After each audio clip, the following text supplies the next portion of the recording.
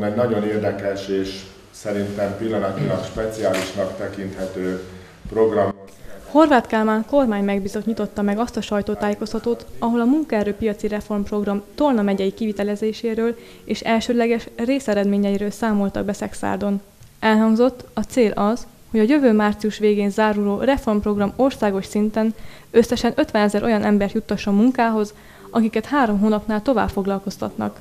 Ez azoknak az álláskeresőknek nyújt segítséget, akik a leghamarabb mobilizálhatók és helyezhetők el az elsőleges munkaerőpiacon.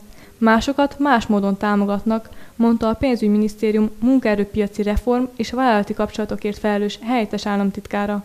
Ebben a munkában fontos szerepük van a kormányhivatalok foglalkoztatási főosztályainak és a járási hivatalok munkatársainak, így az ő munkavégzésükben is változások történtek. A programnak az is célja, hogy azokat a bürokratikus elemeket, amelyek jellemzik sajnos időnként ezt a munkaterületet, igyekezzünk kiküszöbölni elektronikai más jogi eszközökkel, de ugyanakkor jobban irányítsuk rá néhány területre a kedves munkatársaknak a figyelmét. Ezek a válti kapcsolattartás, legyen ilyen kollega, akinek csak az a dolga, akinek ne adjanak más megbízást. Jó esély van arra, hogy a programba bevont álláskeresők száma országosan 20-25%-kal több lesz a tervezetnél.